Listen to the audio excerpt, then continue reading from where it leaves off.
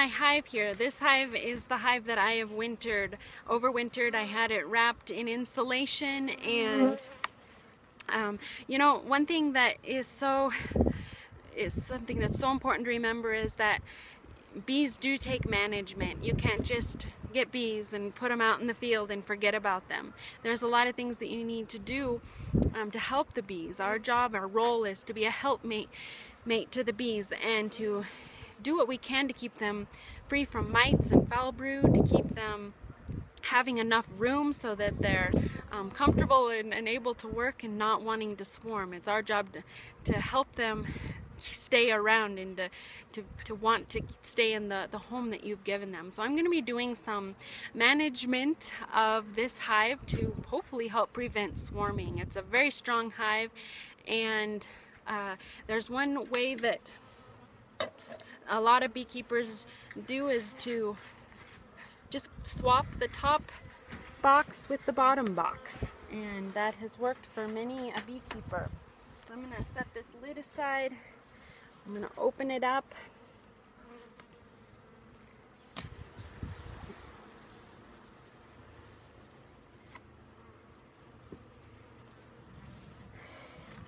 So I am going to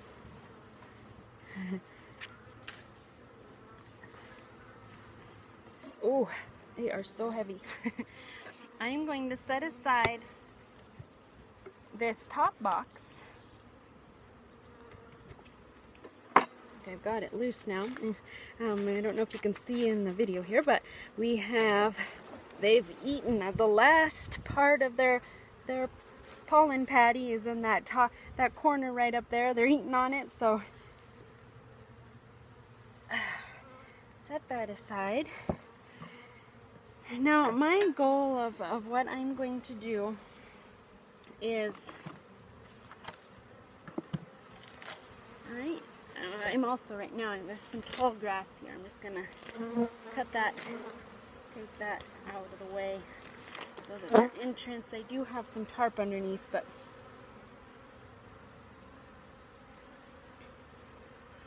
So I'm going to remove the four middle frames in this bottom hive.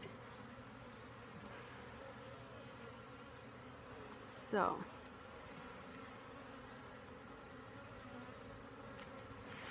and then I'm going to set them aside. Essentially, I am going to be swapping the four middle frames of the bottom with the four middle frames of the top.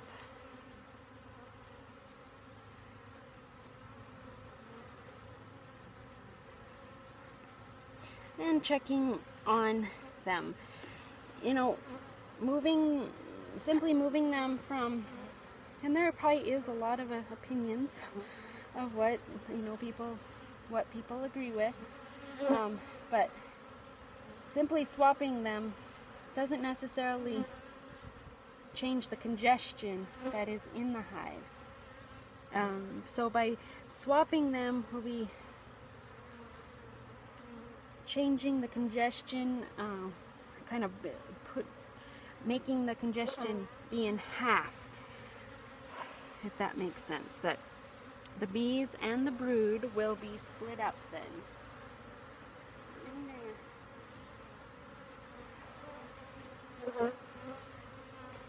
There was in that frame, there actually was um, some larvae and capped brood in that one and um, so there were some larvae in different, different stages. They, there were smaller ones and larger ones as well that would be capped soon. Generally, what you'll find with hives is that you know, over the winter, the bees have moved up where the heat is, and so they're up in the, the top frame, and then they sometimes don't move down. And the queen says, oh my, there is no room, let's go and then they swarm. This frame does have some capped brood in it. On both sides a little bit.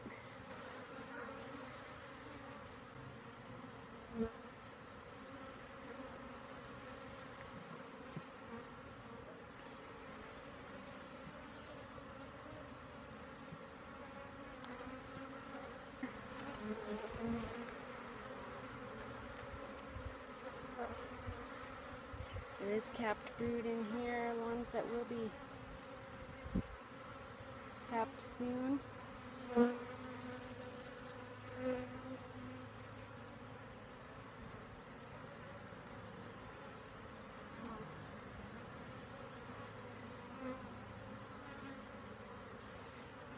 Lots of drone brood in this spot, this this third one here.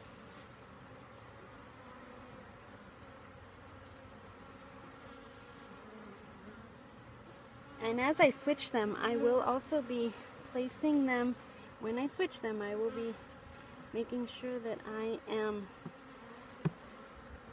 oh, keeping them in the same order that I took them out of.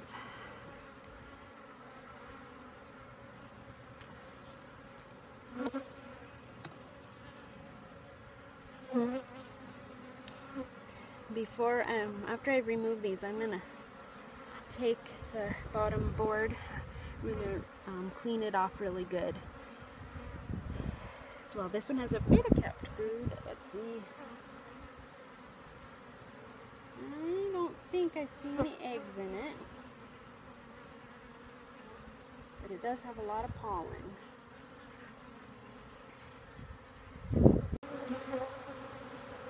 So I'm just going to be cleaning off this bottom board, move it aside here, clean it off with my brush.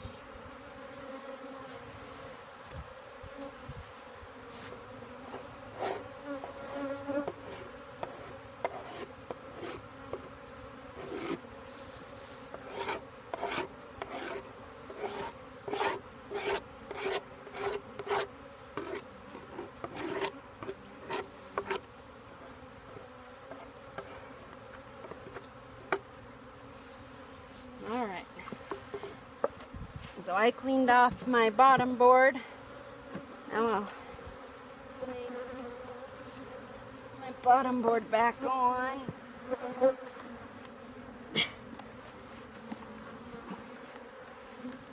it's amazing how heavy they are.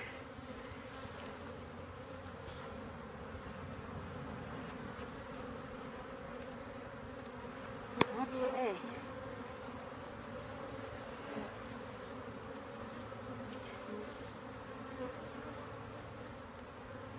With this top top frames here, I'm going to take out the four middle ones.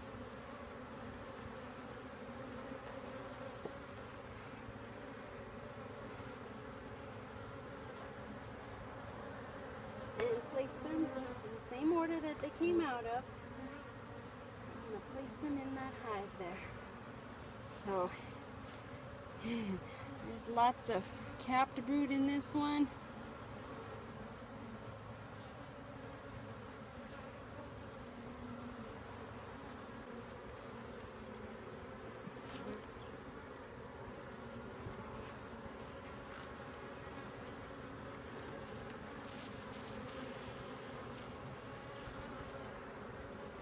Moving on to the second frame here. Lift it out. This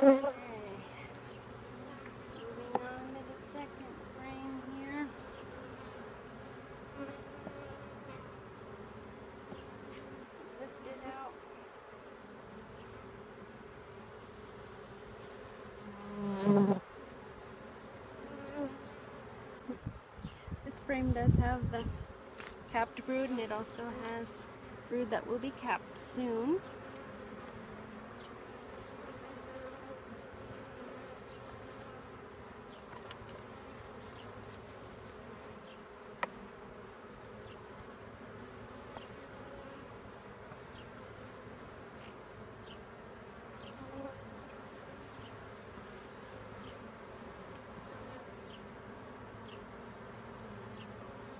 So I have placed the four middle frames from this top box into the bottom box. Now I'm going to place the frames from the bottom box into the top box.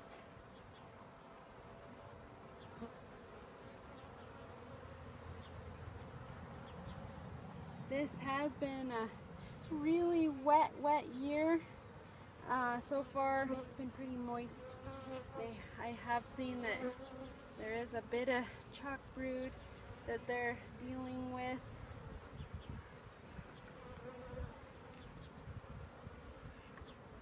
Uh, they're getting cleaned out.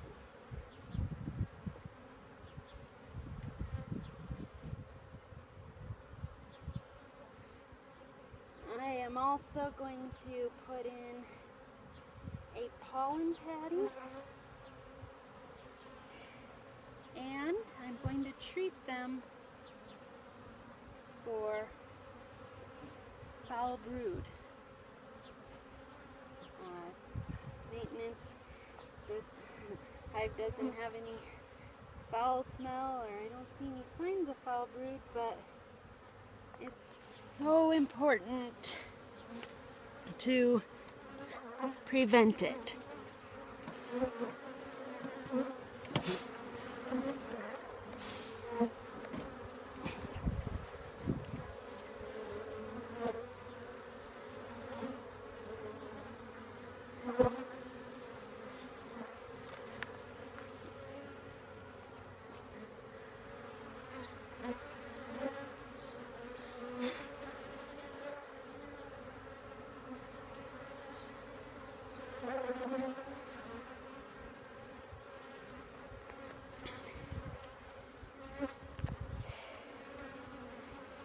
And I've heard that if you, there are several different forms of treatments that you can use for foul brood. And like any mm. disease, the strains of the bacteria, the virus, whatever it is, can create a resistance. So I, as I treat them, I'm going to be going back and forth between the kinds uh, of, of what I use. And this right here is the Tylan medicine. And I'm going to be using a big scoop here and just along the, the edges here. Um, I'm going to sprinkle it along the edges and then the, you know, I was reading some, actually watching some YouTube videos on bees and one of the guys in the comments said, I don't use any treatments, I don't treat for any of it, it's natural beekeeping and my bees got foul brood and I had to burn every bit of it. And I thought, oh, that's so sad, you know? I do believe in natural beekeeping. I believe in just natural everything. And yet, we don't want our bees to be dying of disease either. So I'm going to be, I treated mine. I also have a pollen patty here. I'm going to place on the corner up here.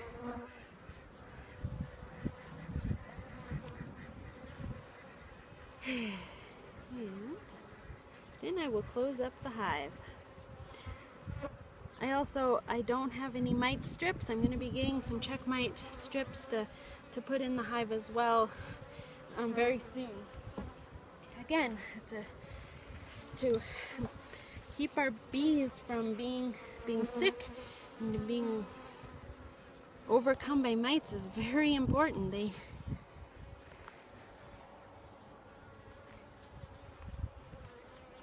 Alright, and I'm placing the lid on.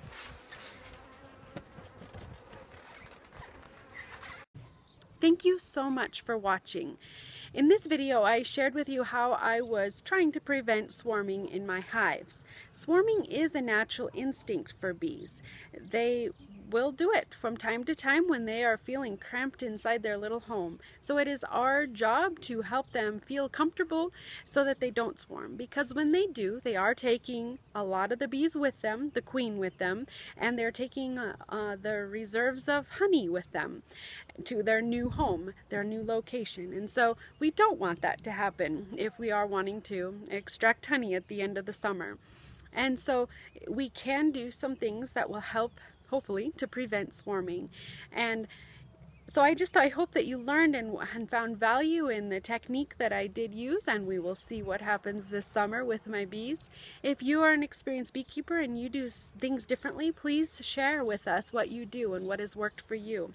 If you're a new beekeeper, ask questions and we'll find the answer together. Again, my philosophy with bees is that you don't need to know everything about bees, you just need to know someone else who knows everything about them.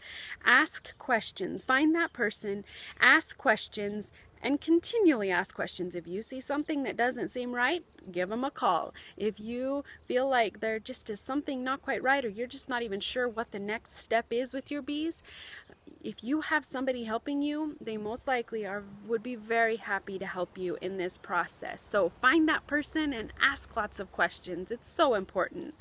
If you did find value in this video, please like it and subscribe to my channel. And please also hop over to heritageclubstables.com and visit us. We would love to see you there and comment and, and share your thoughts and your how long you've been in beekeeping yourself, what, what how many bees you have, anything you'd like. We would just love to, to connect with you and to see what you've learned through the years. So visit us at heritageclubstables.com and we will see you in the next video.